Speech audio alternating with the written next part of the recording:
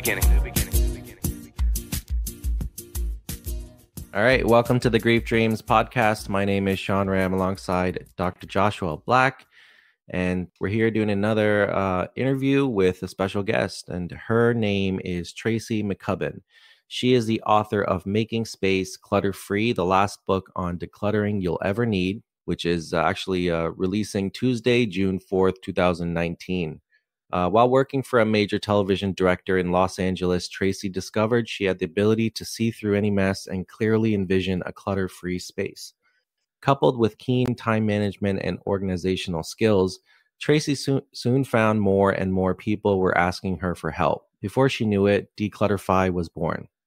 10 years and thousands of clients later, dClutterfly is Los Angeles's premier organizing and decluttering company. Tracy is regularly featured expert on Hallmark Home and Family, has a column on Mind Body Green, and has regular declutter segments on Fox 5 and ABC Eyewitness News, KTLA Morning Show, KCAL 9, and Good Day Sacramento. She and her company have also been featured in Real Simple, Women's Day, and Shop Smart.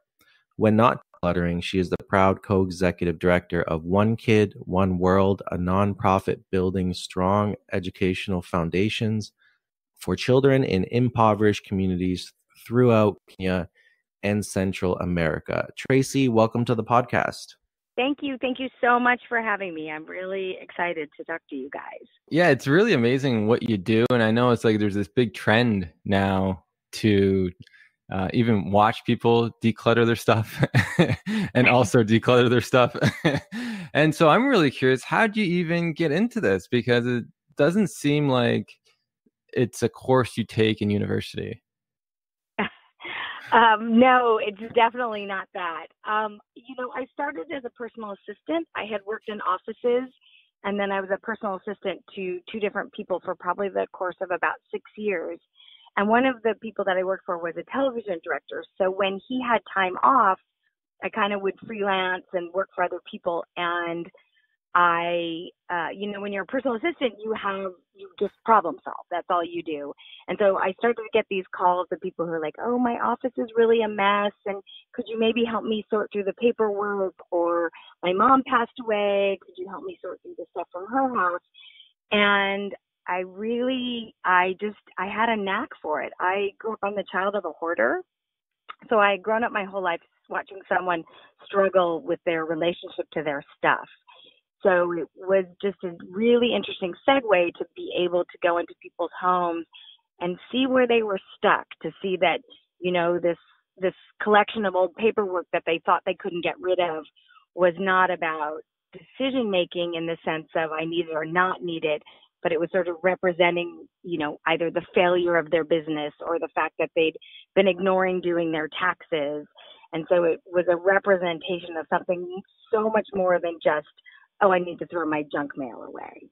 Yeah, that's interesting how you said growing up your your father was a hoarder. And I remember reading a little passage in your book about your your father picking up stuff on the side of the road. I remember my dad used to always do that too, and it drove me nuts. and it just like you grab it and you'll put it in the basement, and like you never really used it. Uh, and so for you, did you know any different at that time?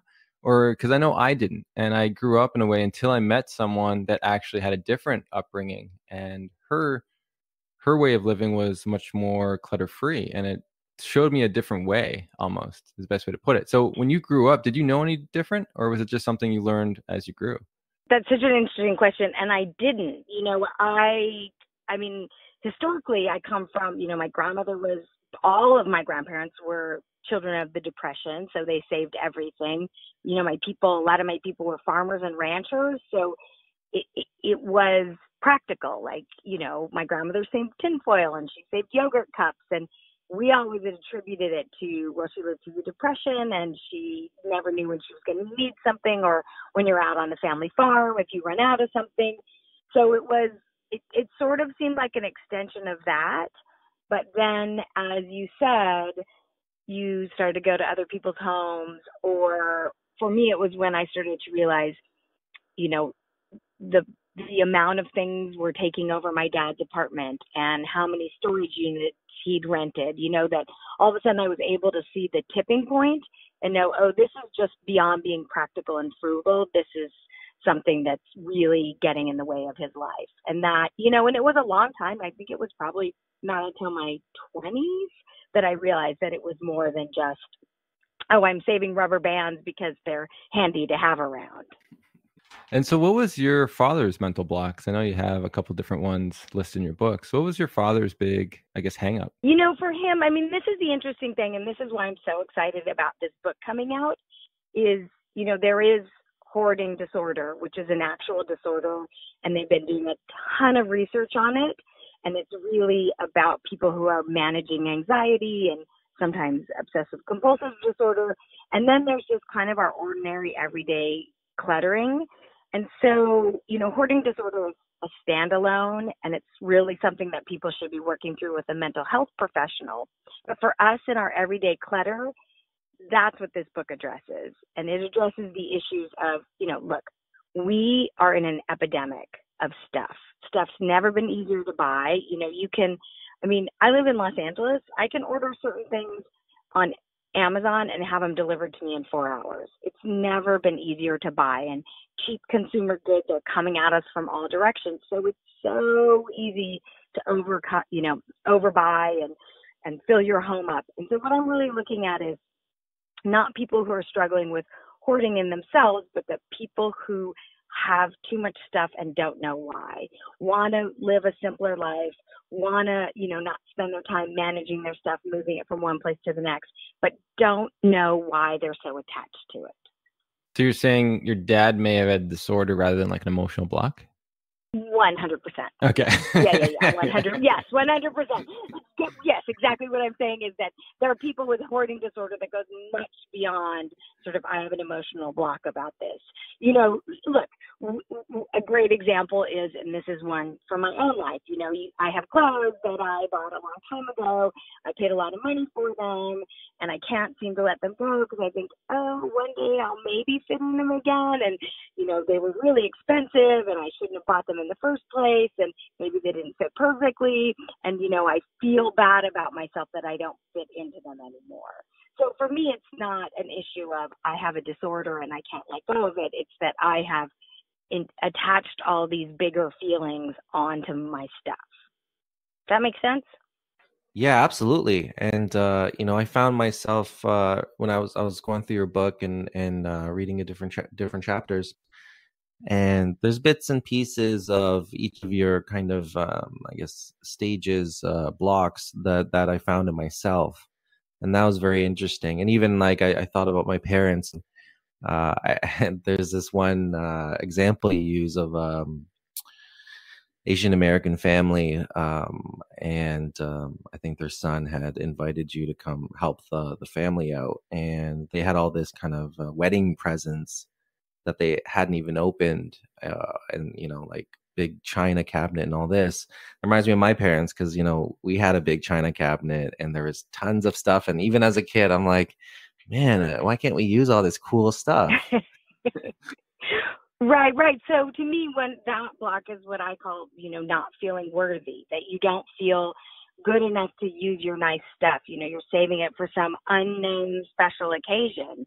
But when's the special occasion going to come? Like to me, I think you're actually the most worthy to use your nicest stuff all the time. But we have it in our head like that's really fancy and we never use that and I might not be worth, you know, you know, I might not be worth it. And the, the interesting thing about these blocks is that we all have them at some point and and kind of depending on our lives, they come and they go. Like, you know, for me, I don't have kids, so I'm tend to be less sentimental, but I work with parents all the time who have, you know, a stack of their kids' turkey hands, you know, the little hand, the hands you draw around your hand at Thanksgiving and put the turkey feathers on it. And they're like, but look, they made this. And I'm like, I know, but they're in college. Like, do you need all this? But they're attached to what their kids created because they don't want to forget what it was, the memories of having a kid. So, you know, as people get older and have kids and raise their families, they're going to kind of change the things that they get blocked about. I mean, so many of my mom clients say to me, you know, I used to be so organized. I never had all this stuff. But now I have all my kids' shoes and baseball bats and toys that they love to play with. And so as life ebbs and flows, what you get blocked about changes. Just wanted to actually touch upon a passage in the book that really uh, I really liked, uh, and I'm just going to read it right now. Uh, you say, although U.S. families have only 3.1% of the world's children, we buy 40% of the world's toys. Uh, the average American home contains over 300,000 objects, and since the beginning of the 2009 recovery, consumer spending on non essentials has been the fastest growing consumer category. We cram our cars and homes full, and then we run out of room, and three out of four families move the car out of the garage and move more stuff in. Uh, when that fails, personal storage is a twenty-two uh, billion dollar industry. Um, I that really that really resonated with what I was thinking. That's crazy. It's right. It's nuts. I mean, it's just and you know, I talk about this in the book. I link this clutter crisis that we're living in to the same the same thing as the obesity crisis, right? That now in modern day you know, people are heavier than they've ever been, and it's been linked to easy access to overprocessed foods. You know, World War II happened, they figured out how to make packaged foods, everybody, it was cheap, everybody started buying it, and we started overeating. I feel like it's the same thing with cheap consumer goods. It's, you know, in the old days, you had I think I give this example, but you had you had tea towels, you had your kitchen towels that you used, and you use them and you use them and you use them. They got stained, you kept using them or you'd bleach them out and hang them and get the stains out. But now you're like, well, I can buy a set of 12 towels for $3.99 on Amazon. Why am I going to spend any time trying to fix them? And then not thinking that, oh, these towels possibly have been, you know, sewn in Vietnam by child labor workers and then put on a big boat and shipped across the uh, across the ocean, creating a huge carbon footprint. And then but it's easy for us to go to target and buy them for 4.99 so i think we're not as a society we're not looking at the greater cost of all the stuff that we're buying. Yeah and that that's a great point and i, I think that makes a lot of sense you know with with uh, the advent of kind of globalization businesses are, are now uh, producing at an even cheaper level you know walmart all these all these big box stores and even amazon now that's taken over those box stores things are cheaper and people have easier access to it. And when you think of a growing when you think about going into a grocery store it seems like uh I, I like that obesity analogy because it's it's like the the foods that aren't good for you are cheaper than the foods that are good for you uh, for the most part. And uh, that seems to be the case also with with people just like you say use an example of like the tea towels for sure or other other things where like you know instead of uh going ahead and and you reusing or stitching up an old pillow that's kind of lost its fluff or whatever it is it's cheaper to go out and buy one if the pillow is going to be five bucks at walmart. Exactly and also we're not we're losing kind of a consciousness and a, an awareness about it right? That we i mean this I, clients say this to me all the time. They're like, I don't know how my house got like this. And I'm like, well, you bought it and you brought it in here, so that's how it got like this. And I think we're not taking accountability for our spending. You know, I was one of the things I I love to do. Kind of the first exercise with clients is instead of telling me I need, well, I need a new this, I need a new that, I need a, you know, I have a Vitamix, but I need a NutriBlender it's like no no just change it to want right? Like just be honest with yourself and say you want it and then really examine if it fits into your life. You don't need i was at clients the other day and they had there was two people in the house that drank coffee and they had three coffee makers. And i was like okay what's going on here? And they're like well she likes this one i like that one and then when our parents come to visit i like you know they like this one. And i was like okay, like we're, we're going to do a taste test. We're going to find one coffee that everybody likes. We're going to get rid of the rest because you're you're telling me you want more space on your countertops, but you yet you have three coffee makers. And you know when you know when in the 40s or the 50s, one person made coffee. Everybody drank the coffee that was made. But now we have the option of an espresso, a Keurig, a drip, a Chemex, uh, everything. And so it's it's. I think we're seeing the real downside of availability. Yeah, yeah, absolutely. I think uh, definitely um, marketing has a big, big, um, big role in that. I think when we, we we're bombarded with ads, bombarded with billboards, Instagram, social media, ads are everywhere, uh, telling us that the, this is the product that's going to make you happy. Or and I hate it when they always tie it. I hate when they always tie it to an emotional response, like you know, if you get this, uh, you know, Starbucks type of you know coffee press, that's going to make you look like the people in this mm. commercial or whatever. And uh, it seems like that that that seems to be the main reason why we even get all these extra things that we don't need. Um, i'm going to read one more passage which i really enjoyed. And happiness is what i'm going to be bringing this conversation back to throughout this book because that's what i care about for you and everyone i work with i actually don't care if your towels are put away in rainbow color i don't need your canned goods to match I don't need your living room to look like a Japanese temple or your paperwork to be in pretty folders. I don't care about Pinterest. I care about your well being. I care about you being free from clutter, clutter blocks. Because once you are, your home will support your living, support you living your fullest, most enjoyable life. And I really enjoyed that. What uh, what does that mean to you? So that's fantastic. So I've had thousands and thousands of clients, and really early on, I realized there's no one prescribed way to do it. There's no one, your home should be organized this way, your home should be organized that way, you have to do it this way. It's different for each person. You know, I'm a single person who lives in a loft versus a family of five people. But what I need and what I want is that when you walk into your home, you feel happy, you don't feel stressed, and it supports you. It gets you out of the door in the morning, you know, without without stressing out about what to wear or you know you can make yourself breakfast it's about having a home that works and is beautiful to you not this prescribed you know perfectly matched pantry i mean it, it, in some ways i think that home organization right now is a little bit like fashion magazines that it's all this sort of aspirational organizing that it's not practical for how we live and it's making people feel bad. It's like, look, if you, uh, this is a great example. I have a client who keeps all of her kids, you know, she does her, she has daughters and she does their hair in the morning before they run out to the bus. She keeps it in a drawer in the kitchen. And people will be like, what? That's great. And I'm like, but she has to do their hair at the breakfast table while they're eating so everybody can get out the door in time. So sometimes it's making a decision that helps your life run smoothly as opposed to how it should look.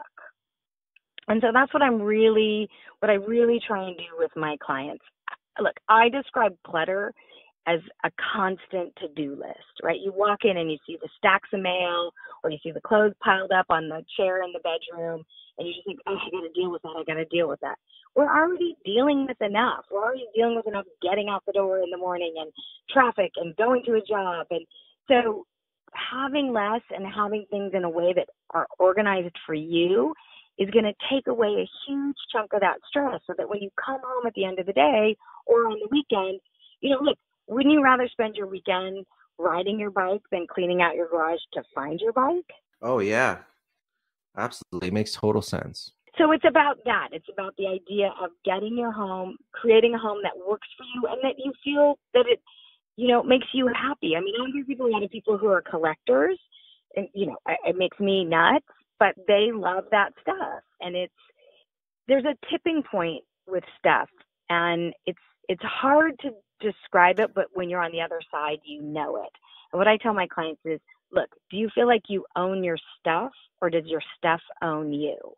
Are you spending a lot of money to take care of it to store it to you know to fix it? Is it is it to a point where you have to move stuff around to find other stuff? That's the tipping point and i want to keep everybody on the other side of that. I want to keep everybody where they own their stuff. They're managing their stuff and it's supporting their lifestyle choices as opposed to them spending $400 a month on a storage unit that they haven't looked at in 10 years. But then what happened to the, the show, Storage Wars? I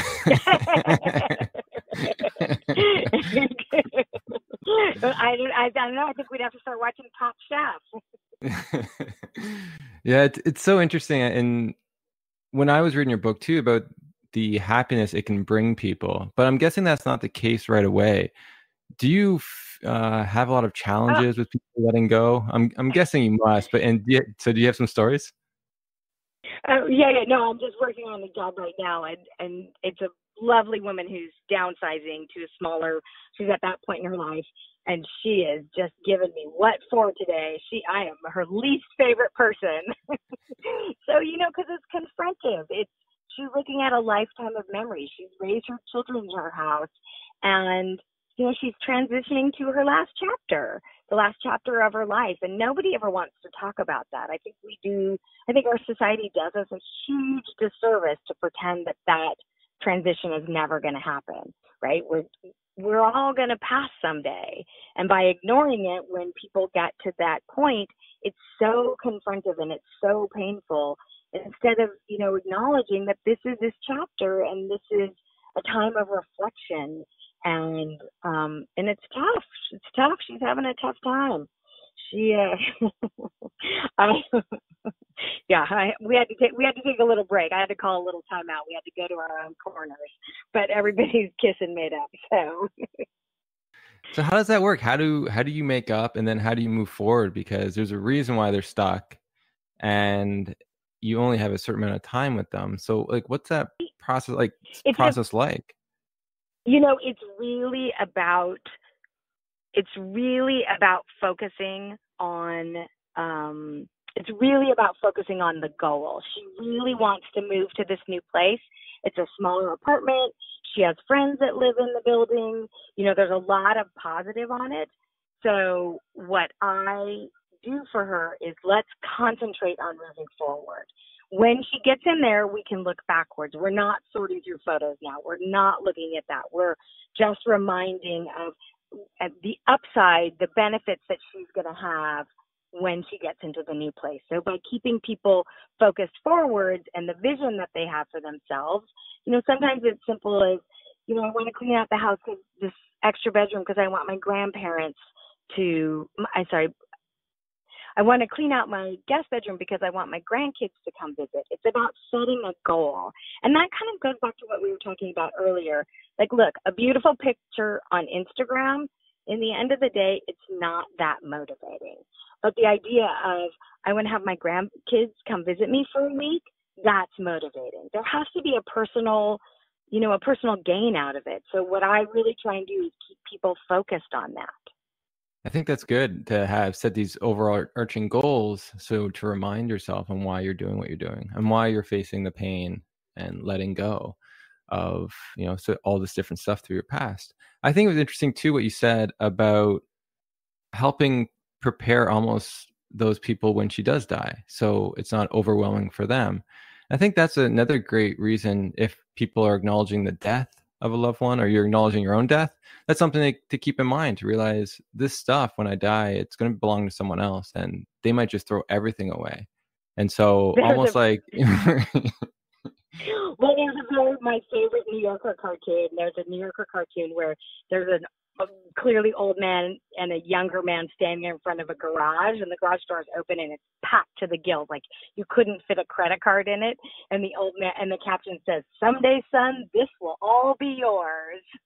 Just it cracks me up. So here's a great story. I have a lovely couple uh woman i've worked with for a long time and worked with her with the passing of her husband, and she's at an age now. She's almost 90, and she has all this beautiful jewelry that her husband bought her. She's never going to wear it again. It's a very specific style. It's quite flashy. It's it's just not what she's wearing these days, and she's starting to give it away to her granddaughters and to her nieces. And some people are like, no, no, you can't give it away. Like, that's so morbid. Because she's like, I want, you know, I'm not going to be wearing this much longer. I'm not going to be here. No, don't talk about that. Don't talk about that. But what they're cheating her out of is this amazing opportunity for her to go to lunch with her granddaughter and see her granddaughter wearing that ring. You know, that she'll know that something she loved got passed on. And so to me, it's a really, I just think it's a missed opportunity to let someone process their eventual past, to tell you the memories and the stories about that ring and see you wear it and know that someone's happy. It makes it makes letting go of the stuff for sure easier. And I think that not letting people talk about it and process it ahead of time is kind of cheating everybody out of a really profound experience. On that note, I really enjoyed when you talk about letting go after death or divorce. We'll get into death maybe in, in a bit, but let's talk about something like, you know, uh, breaking up with a couple or divorce, and people have a hard time.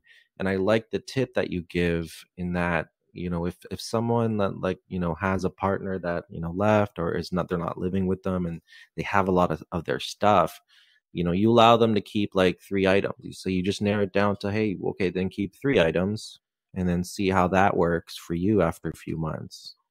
I enjoyed that. Yeah. Yeah. I mean i think it's about you know i think it's about putting caps on yourself uh I always say the amount of stuff you keep from someone who passed away or you know you broke up with in no way reflects how much you love them, right? Like I have a handful of things from my grandmother. It doesn't take away the fact that I loved her dearly. And sometimes when people split up, I mean, look, there's the practicality of it, right? There's the practicality of um you know couches and beds and like no one you know not everyone can go out and afford to buy a whole new household of furniture. But the sentimental things like is it helping you move forward in your life to hang on to all that stuff? Uh, i helped a guy who had a whole storage unit full of you know a lot of stuff and we went through it and he got rid of everything it was a terrible ugly painful divorce and we got down to like the last boxes of all the photos and her wedding dress was in there and like a lot of stuff and we had the big shredder come and he just had a moment he was like you know what? He kept one photo he like just was like i want to get get rid of it. And he threw it on the giant shredder and it was like a modern day viking burial you know? There was something symbolic of like shredding it all up. So i think it's again looking forward you know the amount of stuff that you're keeping is that going to is that going to help you get to the next stage in your life? Do you want to meet someone new? Do you want to let go of you know the resentment like if you are resenting the person you broke up with and you've got a house full of their things you're not going to move through that fast or at the rate you need to. So for me, it's about like let that stuff go and give yourself the literal space process through.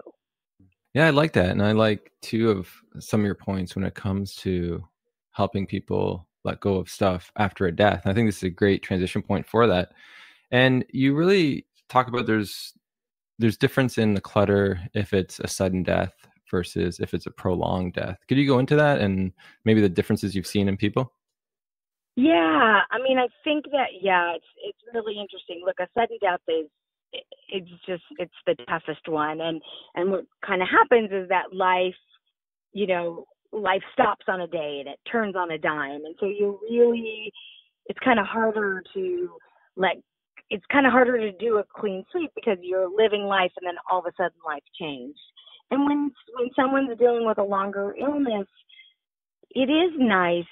I mean, nice is such a strange word, but there is there is something in being able to kind of go through that stuff with them, or you know, let them let them be involved in the process of letting go. And so that oftentimes I find that when it's been a prolonged illness, often easier for the people to sort of let that stuff go in a shorter period, right? Because they've really been grieving and mourning for for a lot longer. Does that make sense, right? You're you're sort of with someone six months or a year, so by the time that they finally transition, you're kind of ready to move that stuff out, especially if it's sort of the trappings of an illness, which are always really hard to have around.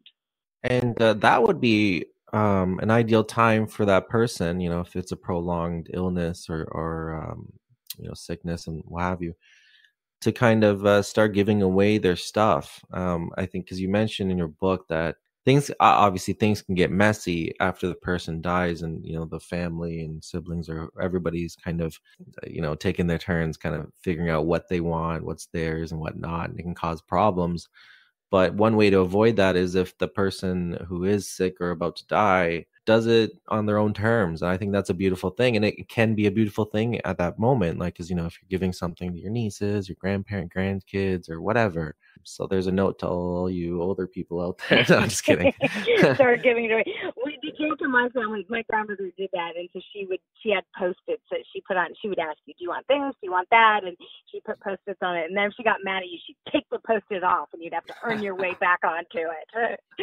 but I think it's I absolutely I think I know it's a difficult conversation for people, but I think it's a really missed opportunity. I think it's a missed opportunity, like I said, for stories to be shared, and this is where this came from, and someone to see the joy of getting passed along. And I think to wait, you know, to wait until afterwards, that's where the confusion comes in. And that's where people think, think things are more valuable than they are, or someone's, you know, I should have gotten that and you shouldn't have. And I think the, the clearer that people can be with their wishes, it just makes the transition so much smoother.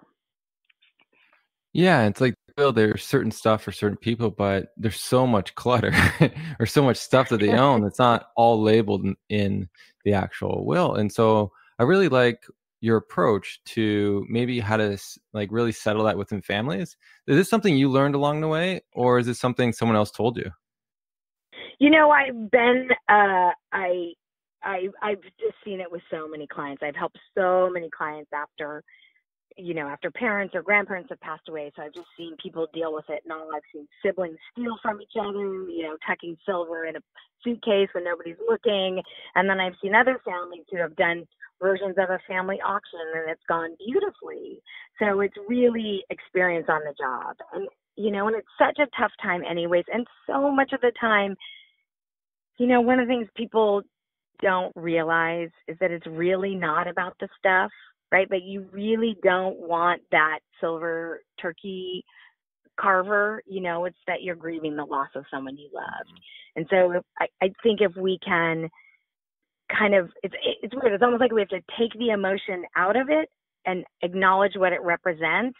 And then when the thing comes back into our life, know that really what it's serving is a reminder of great memories, that you look at it and you remember the good times as opposed to, I should have this or I earned this or this is worth a lot of money, but that, you know, it's a it's a talisman of sorts. Mm. Yeah, and, and hopefully it is about the grief. Sometimes it is about the money. I've seen enough to know that too. Yes, oftentimes it is. and so I really it is. I do like the auction about having basically a auctioneer come in and basically evaluating the stuff and then having sort of this mock auction when you have basically monopoly yeah, money. Yeah. Yeah, it's great. I've seen it. I've seen it done a lot of times, and it looks fantastic. It just it feels very equitable to people, and it's also you know it's a it's a process.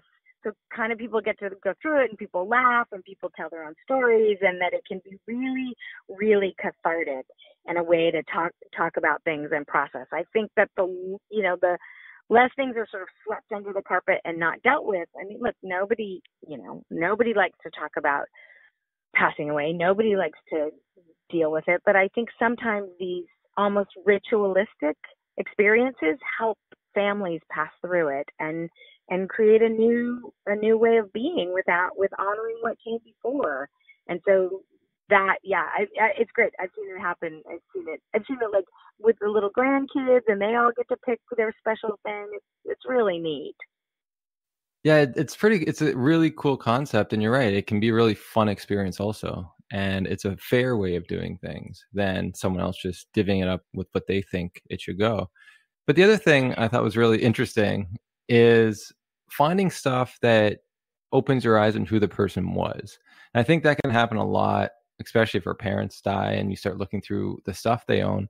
I know some of the stuff can be humorous, as you say, but stuff can be uh, horror. Uh, can you talk about that a little bit? yeah, I do like to tell people. My mom's like, so everyone should have what I like to call the cleaner.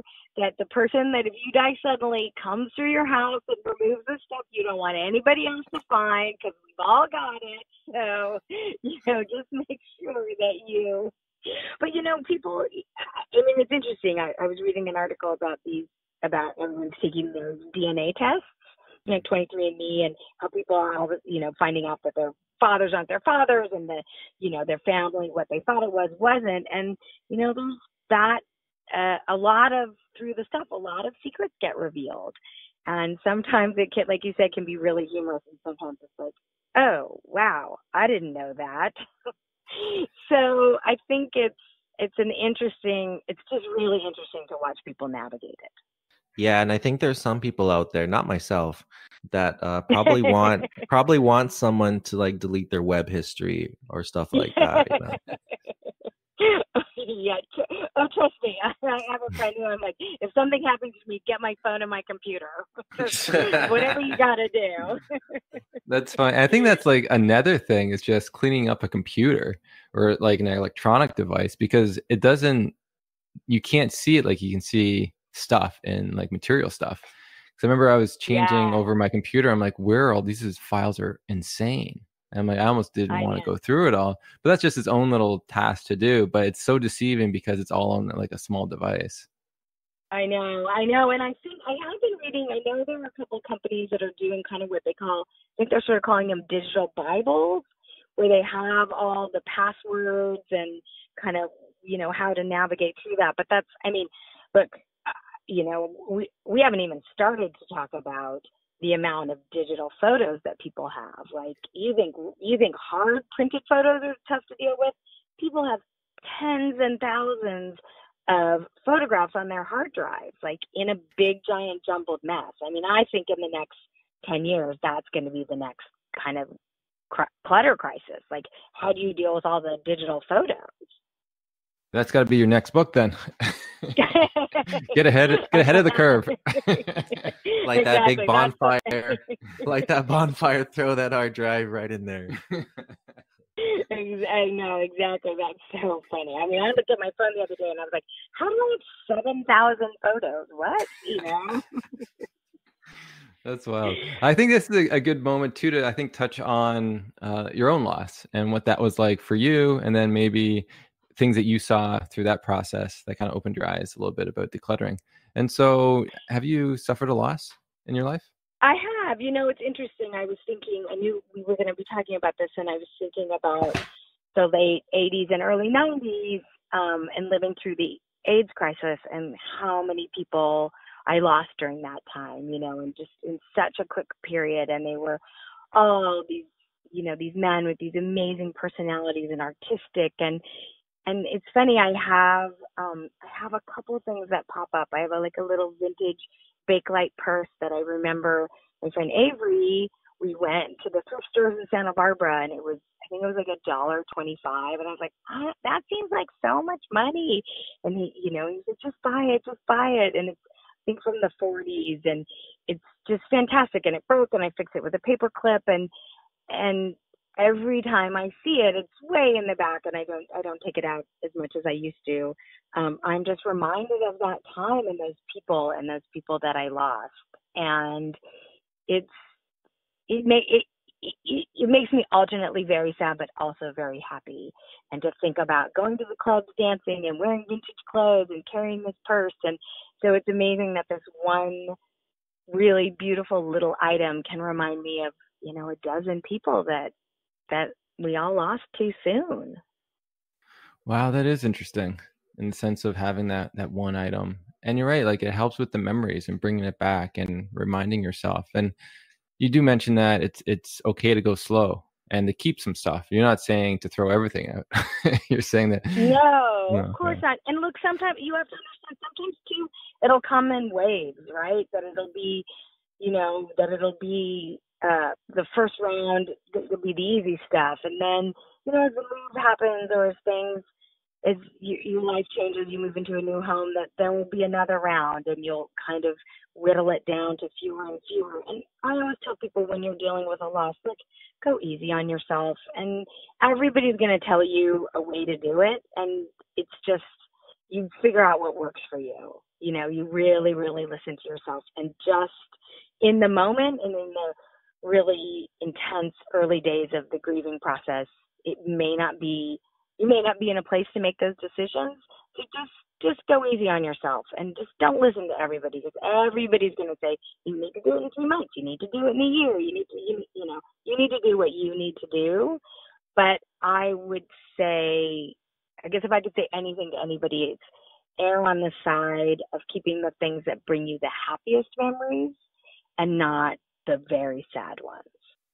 Yeah, that makes sense. I like that. And when it comes to your own it's loss, a pretty good yeah. litmus test. it is. it definitely is. Um, and when it comes to your own losses, so you had the the many friends um, and colleagues that sort of died through the AIDS crisis. Was that difficult for you going through that because of the wave of deaths that were occurring at that time? Yeah, it was tough. It was weirdly, um, it was weirdly, it just kind of happened so fast that you got a little bit. I remember having a conversation with a friend of mine, and this was the old days when we had address books. Like uh, everybody's numbers wasn't on our phone, and he was like, "Oh," he said, "It's you know, it's time to change my time to get a new address book and he goes and I went through I was going through my old one and I realized so many people had passed that it was just easier to throw it away. That the people the people I still had in my lives I knew their numbers.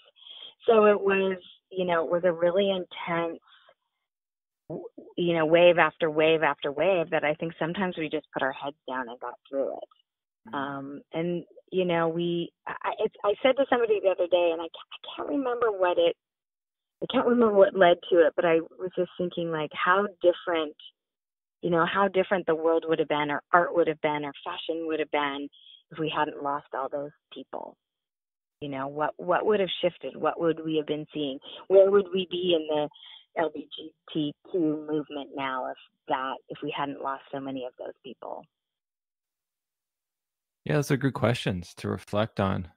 And how is it how was that different because i can only imagine you're right like you put your head down because there's so much loss going on and it's almost too much to really handle you just like loss after loss after loss compared to when your grandmother passed away and you know what did you see differently in yourself and how you grieved that you know my grandma was i was very lucky she lived to be 101 and um and she was very you know she was scottish and very practical. So she had but you know, her joke was that she wanted to leave her house feet first. Like she wanted to die in her own house. And I saw, you know, probably the last year of her life, I saw she just said some things that I was very attuned to. She, you know, she said, she said, you know, she said, not only are all my friends gone, but my friends' kids are gone. And, and she said, I'm just a little bored.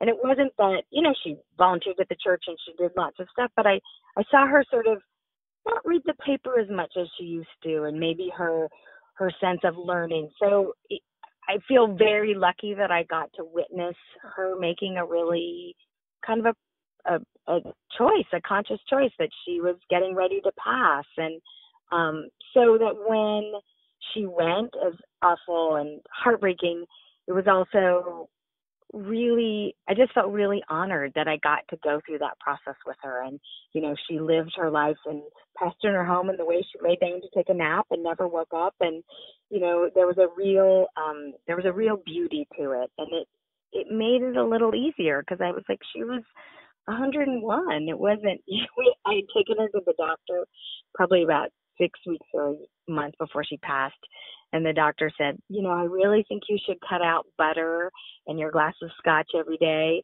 And she was like, because you're going to buy me three more weeks? Like, no.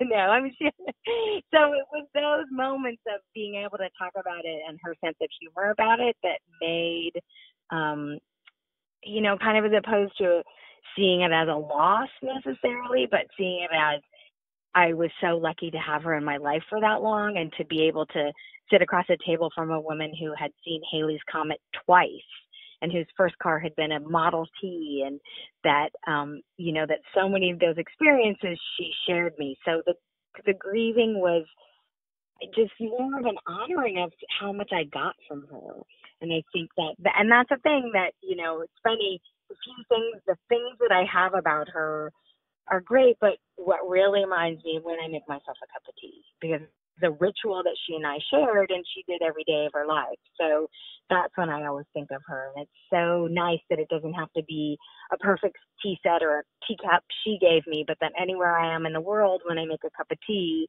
with a little bit of sugar and cream, I'm reminded of her. So for me, it's really, it's great to be able to have that memory and have those feelings kind of represented in a little ritual. that's nice. And what did you take from her after she died? Like what belongings?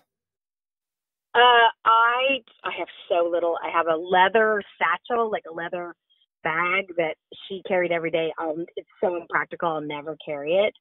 Um, I have a few, a ring and a necklace, and maybe some scarves. I have so little. I have so little, but you know, it doesn't. It doesn't in any way diminish my great love for her. Like, I do wish though there was a BMW 1600 that unfortunately got in a car accident. My brother and I were both like, man, we wanted that car. but, oh yeah, it was a collector's I know. She, she drove it brand new off the showroom floor. It was like, oh, that car. That's one of the only things that I'm like, if I anything I could have had, but I've had plenty of cars. I'm I'm glad you got to experience that. Um, you know, sitting with a grandparent and uh, going through that like uh, special moment, and it it's so true. It's it's sometimes it's not the expensive things; it's the simple things that just remind you. And our minds are so strong, and if you have happy memories and you you've lived with a person and, and can really remember those memories, that's what it's all about. You know, if you had tea with her, I mean, that's a simple thing, but it's a it's a strong uh, image, and that that goes for like a lot of other things. Uh, you know, I can just think I can just for my own grandmother, uh, I could think of like maybe you know how she made, um, you know, she had made she'd made like a, type of Indian pasta one time. Um, I don't have anything from her, but like it's just memories of those moments. Uh, or just you know going for walks with them. Um, I think those are the strongest things in, in my mind. Well, and I think that's what I that's what I you know if I could convey anything to the people listening and you know hearing this conversation is that that to remember to know that the reason you're keeping this stuff is not that you know people have passed. It's not that you really want the stuff. You know, maybe some of it, you know, that BMW, but you know that you don't that you want the memories. That's what you really want. And if you're clear about that, then the stuff's going to lose the importance and you're going to know that you're not going to lose the memories and that you want to be you know you want to just have enough things to remind you that that person had an impact on your life and that you love them and you still love them. And so that's that's what i'm hoping for people that they'll acknowledge the sort of process you know where in the process the stuff is that the stuff isn't the end game. It's the getting you to the next place. And i think if people start to really see that, the stuff is going to lose its importance. It's not going to matter so much. Hmm, I just thought of something, and you might be able to use this as your in your next book for a tip. But what if you just take pictures of all the things you can't really keep, and then just put eh, that in? Like we do it. I know. Oh, you already do, do it, it all the time. Yeah, I do it all the time. I mean, it's generationally, you know, my sort of clients over 75 or 80, it's hard for them to wrap their brain around it. But my clients in their 50s and 60s, yeah, all the time, just take pictures, just take pictures. Um, and sometimes when we're moving somebody out of a like a lifetime home, we'll take pictures of the home as it was, and then make you know make one of those photo books, like you know the Apple books, and so that they can have a book of what it looked like, and then when they want to remember it, they can flip through it. That's a great idea, Sean. Uh, that's, that's, glad you're already one step ahead too, Tracy. Uh, so at the end of the day, I think that's great, and it's just another way of simplifying your life and but keeping the memory. And you're right, it is that memory. I'm curious mm. on one question that we we like to, uh, to ask about on the podcast is: Have you ever had a dream of anyone who's died, either any of the, your friends that died in the AIDS epidemic or your grandmother? You know, it's funny. My grandmother shows up a fair amount. She um uh she tends to show up in my dreams when I'm in a lot of anxiety. Uh and I think um and I think because she was so practical and rational that um she was not uh, you know worrying wasn't she didn't put a lot of stock in worrying. It was sort of solving the problem. And so I have, I, I was also thinking about this. I have when I'm in a bunch of anxiety and she'll sort of pop up in funny places and and I tend to wake up the next morning and go like, all right, let's make a list, let's pros and cons, let's, you know, delegate what we can and you know, instead of spinning my wheels and try and worrying about getting it done, like coming up with an action plan. So I always think that when she shows up in my dreams that she's sort of a reminder that a plan of action will always get you out of a situation instead of running around like a worried chicken with your head cut off. So I'm always I'm always happy when she shows up. Oh, that's so cool. And does she talk or is she just like in the background and it's just that reminder? No, it's funny. She, he, she doesn't. And now that I'm thinking about it, it's funny. She sort of just pops up sort of places. She was a little teeny Scottish lady, and so she was sort of she just sort of shows around in the background. Um, and uh, it, it's interesting. I, I, you know, it's funny. She she doesn't really talk, but it's hmm. it's a kind of very calming vision for me in a dream. That's so interesting. It's just, it's just like you open a door, there she is. You're just like, whoa. Yeah, kind of. Or sort of like a big dinner table, and she'll be sitting at the head of the table, or you know, I'll walk into a room and she'll be in the room. That's really interesting, and I'm really curious too. Is since you've had so many dreams, is she like 101 years old, or is she a little younger? You know, it's funny. She. It's so interesting. That's just an interesting question she shows up. She had my dad later in life, so she sort of shows up in my dreams in about her 60s, 60s or so. You know, when I was when I was spending a lot of time with her, like still grandma-ish for sure, but not uh not at the end. Like, and when I remember, you know, she and I would travel together and kind of when our lives were very active together, but definitely like gray hair and like her little grandma shoes, and you know, she shows up in a practical pantsuit and. Wow. but very much as I remember her. Her hair always done in my dreams. Her hair is always done because we would go to the beauty parlor and she would get her hair done. Oh, that's that's so nice and so interesting. also, with the so the hair being done and also forty years younger, and like that's something. Yeah. And I think that's an interesting kind of image that is occurring, and I love it. I love I that I you know. have that. I know. I wonder if it's something about that with you know, my teen years and my 20s when things were, you know, chaos and hormones and, and that she was really a, a constant solid presence that maybe, you know, in these anxiety dreams, I sort of, my, my, you know, whatever gets us there goes to this very calming, solid presence. So she's like put together and, you know, her plaid pants on, her hair done, and just really a, a calming, um, just a calming vision in all of it. That's beautiful. I'm glad it's making you feel comforted and also reminding reminding you of her and her wisdom, and then for allowing you to take some initiative in your own life to now like stop worrying and actually getting to the, the issue of the problems. yes, worrying is a wasted. I do it all the time. I perfected it, but I'm really like this is getting me nowhere. What am I doing? All right, let's make a list. Yeah, worrying is like clutter for the mind. That's great. I totally agree. That's fantastic. All right. So our uh, our last question we always like to ask our guests is: If you could have a dream tonight, what dream would you want to have of someone who's died? Wow. Uh, this is okay. Not I'm not a huge Beatles fan, but I'm staying in New York right now, and we're staying like a block away from the Dakota. And we walked through Strawberry Fields, the park that Yoko Ono had built for John Lennon after he was killed. And I was like, there was just, there's something about that space and him and who he was to the world. And I was like, wow, I wish I'd seen him. Like, I just thought that last night. And so I think if I was like, you know, if I was asleep tonight and he could kind of come in that in that space and in this place and seeing his memorial garden. That would be really cool.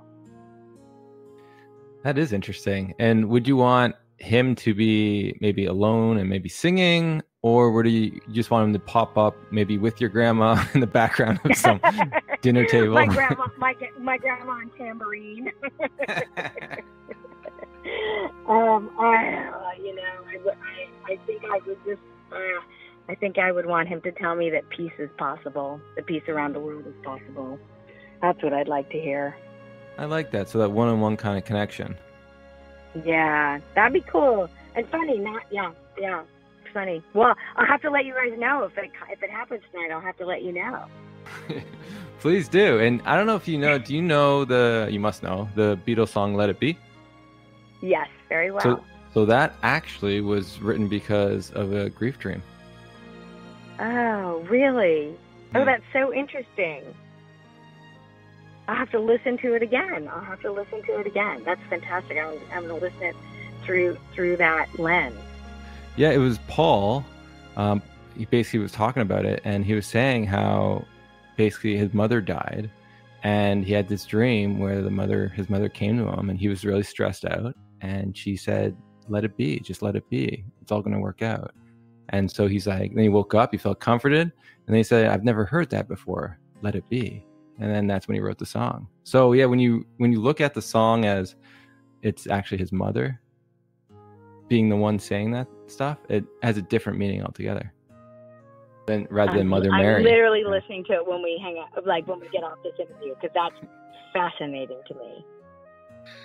And before we wrap things up, I actually have one one question about your grandmother. What was the secret to her longevity other than butter and whiskey? you know, she. I think it was she. Um, she worked. She worked every day. You know, she went and uh, when she stopped, you know, working as a secretary in her church, she volunteered at the nursery school in our church. And I think it was staying engaged. She did the crossword puzzle every day. You know, she was forever sort of taking a class on computers or reading a new book. She listened to talk radio. I think it was keeping her brain and her soul engaged in learning, which um, was fascinating. She would travel. She just was always, she lived sort of a, a simpler life, but she was always reading about something new or the changes in the world, exposing herself to different cultures. You know, she uh, she had become friends with a family that had immigrated from Vietnam, so she wanted to learn all about Vietnamese food. And I think it was the learning that kept her alive for so long. Wow, that's incredible, and I I, I believe that as well. I think that uh, you know expanding your your mind and your your learning new things, you know, past you know again into your 70s, 80s, you know, 100, why not? You know, and, and that just keeps you fresh and sharp and um, you know, again, on the subject of learning, uh, I really enjoyed your book. I, I didn't get through all of it, but I, I will finish it up later. But there's there's definitely a lot of chapters and a lot a lot of um, a lot of uh, great tips. But also, I love that you're focused on overall happiness for an individual, and I think that uh, it really comes off as uh, authentic and genuine. Oh, I'm so glad you guys enjoyed it. This was a fascinating conversation. This is this is great. This is fantastic. I can't. I, am so excited for people to listen to this. You know, this talk, and I'm gonna go. I'm gonna go listen to Let It Be. You gotta close out this episode with Let It Be now. yeah, I wish we could pay those guys. Um, that's, that's expensive. so Tracy, can you uh, uh, shout out your handles and uh, maybe where people can reach your book when it comes out? Can get your book. It's gonna. It's yep. It's, it's uh, called Making Space Clutter Free, the last book on decluttering you'll ever need. It's actually available on Amazon, Barnes & Noble, and Target.com. And they can find me. Facebook's a great community. I'm just Tracy McCubbin, M C C U B B I N, and then also on Instagram at Tracy underscore McCubbin. Excellent. Uh, excellent. Thank you again. And uh, so for our platform, uh, you can reach us at griefdreams.ca for more information on the topic. Uh, we did add a donation button, and there are perks to those who donate. If you have Facebook, you can join the Grief Dreams group. You can share your dreams or hear more uh, dreams of others. Uh, we are on Twitter and Instagram at Grief Dreams. And as always, we love to end our podcast with love and gratitude from us to you.